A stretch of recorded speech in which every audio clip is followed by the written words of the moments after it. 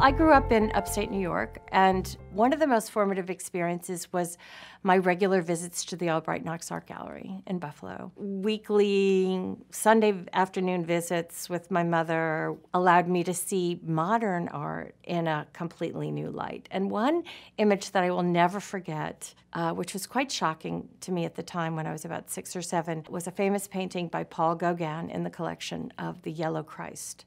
For me, it was such a surprise to see something that I had only known as a child in a very traditional way to see it in an abstracted way with colors that had nothing to do with subject and a raw emotion that was startling to me because it was so explicit.